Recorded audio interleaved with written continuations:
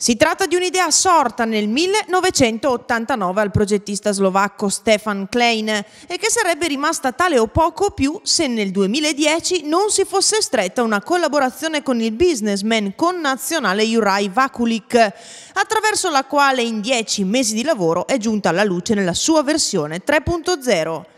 Concretizzazione del futuro, questa forse l'unica giusta definizione di aeromobile, esatto punto di mezzo tra una graffiante auto sportiva e un piccolo velivolo. Quanto tempo è necessario per la metamorfosi? Solo pochi istanti, così come per decollare sono necessari solo 100 metri. Prestazioni dell'attuale prototipo già di tutto rispetto, 160 km di velocità massima su strada che salgono a 200 in volo.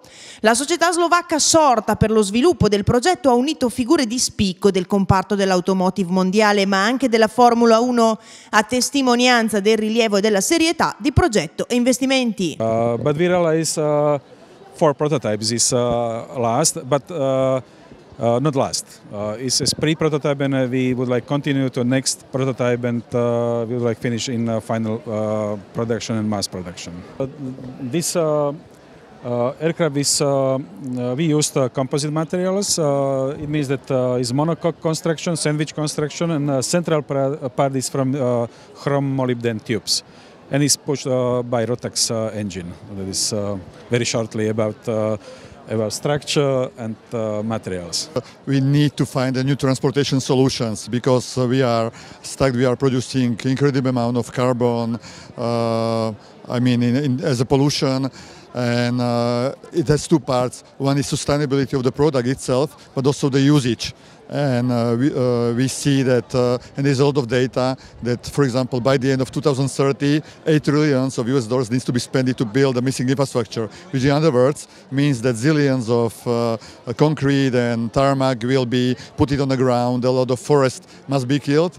And our story is that there is already one beautiful sustainable infrastructure called the air, and we can utilize it and we can keep then the land uh, and the forest to the people for the recreational needs, for food needs, and uh, we need to find a new way how to how to upgrade the personal transportation. So really, our really deep point is that uh, the next big thing in technologies that's uh, the personal transportation. Presentazione di Aeromobil tenutasi ad Expo ha partecipato anche il vice primo ministro e ministro delle finanze della Repubblica Slovacca Peter Kazimir, il quale ha tracciato i contorni dell'importanza dell'innovazione per il sistema produttivo e industriale del suo paese, di cui Aeromobil è certamente un esempio, ma che vede nella posizione di leadership della propria industria automobilistica un aspetto ormai più che consolidato sul panorama mondiale. Definitely, we are very proud about it that we can just present such. I, this because at the, at the end of the day, you know, this is a, just a way how to materialize the dreams, you know, but but very practical dreams because it could be unique combination of automotive industry innovation industry. And back to Slovakia, you know that okay, despite that, that we are a small country, uh, uh, we have history from the past. We are the member of the of the Soviet bloc, and we used to produce the weapons in the past, the tanks and artillery. But now we we restructured our economy, and the number one in our economy is automotive industry and everything which is connected with uh, with automotive industry. So, so heavy engineering, engineering, engineering and manufacturing.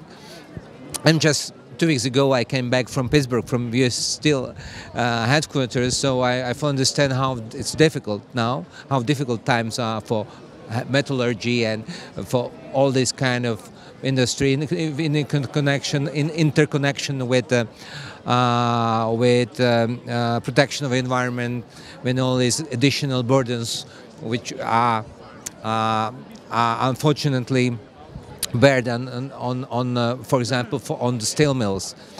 Talking about uh, uh, innovation and technologies, we do believe in that because this is the only way how to how to how to survive and to be successful.